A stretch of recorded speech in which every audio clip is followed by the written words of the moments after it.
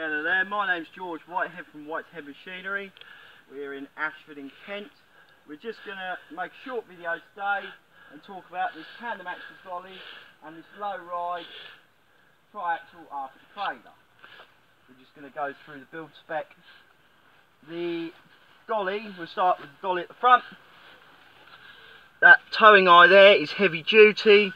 Then we come back to the swinging foot which is detachable and then the drawbar is 150 by 150 by 10 and we just come to the trailer.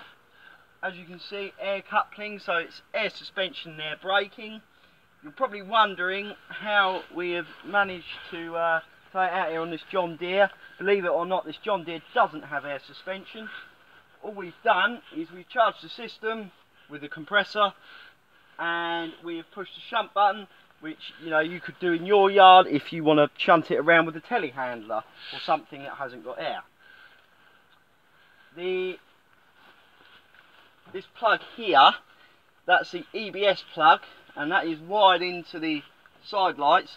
What that does is behind there, there's an inverter which steps the tractor voltage up from 12 to 24 to run the EBS valve that's underneath the trailer and that powers the EBS um, which makes the braking and the load sensing which makes the braking nice and progressive.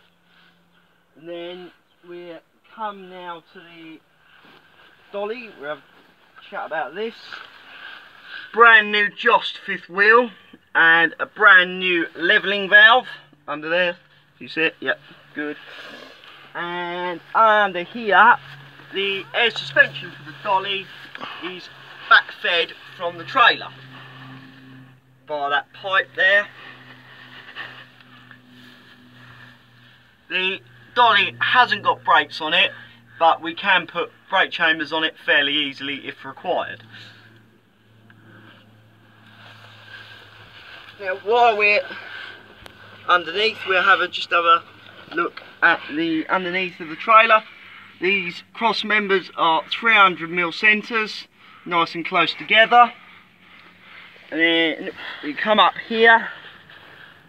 Hardwood keruing floor very durable 30 mil thick. As you can see the chassis is quite good condition.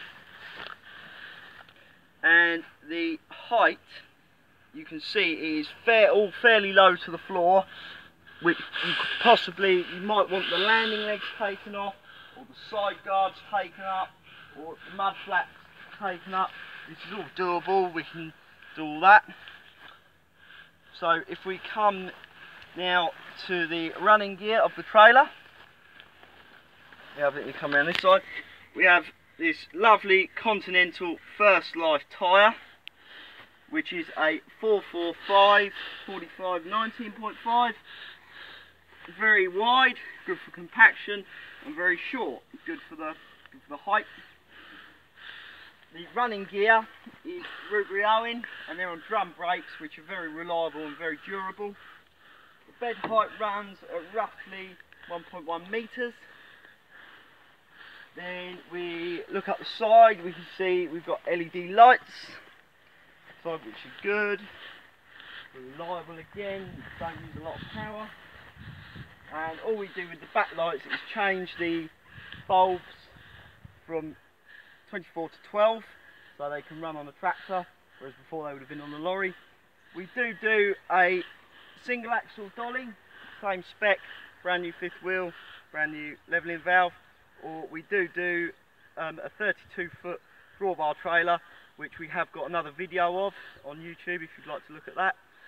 Uh, any further inquiries about this, this trailer please ring me on 07968 098 410. Thank you very much for listening.